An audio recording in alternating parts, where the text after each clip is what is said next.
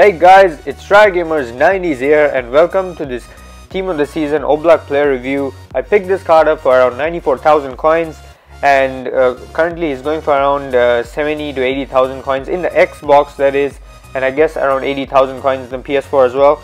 And so yeah guys, basically his stats are as you can see uh, 87 diving, 91 reflexes, 90 handling, 54 speed, 77 kicking and 90 positioning. He is 6 foot 1 inch tall and has traditional save style and with 3 star weak foot as well so whether he's worth the pickup or not we will find out in this review.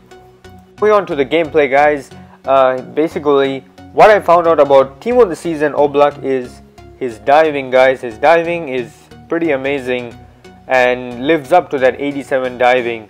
As you can see some uh, uh, amazing dives there from Team of the Season Oblak and as you can see another great stop against uh, legend Butragueño and he is a, a, a, really good shot stopper guys. His positioning is also pretty decent on point most of the time. But when it comes to his long shots guys he is he just sucks. Against long shots he I've conceded so many goals guys with this guy. I mean as you can see he makes a mistake there. That was my fault at the same time but as you can see uh, you will see a lot of goals being conceded via long shots guys.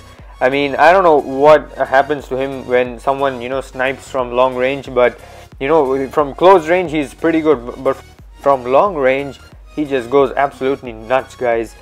As you can see he did pick up pretty good number of saves. The first game he had 8.6 match rating with 5 saves. In the second game he picked up 9.1 match rating with 14 saves but mostly from close range. So bottom line I was kind of disappointed with this card guys. And we'll finally move on to the pros and cons now. As you can see he has really good diving he's pretty good reflexes and all this is against you know close range shots. But from far range from from long range he, he just sucks guys. Unfortunately his positioning is also pretty decent. And also one of the things that I noticed was his handling did not live up to that 90 handling so final verdict guys is going to get a final rating of 7 out of 10. Uh, he was pretty disappointing for me. I would recommend not to pick him up uh, for the price he's going right now. And uh, a better alternative is Team of the Season Areola from the Liga BBVA. I have in, in my channel reviewed. Do check him out if you haven't. So yeah guys, if you have enjoyed the video, don't forget to smash the like button. And until then, I'll see you guys next time.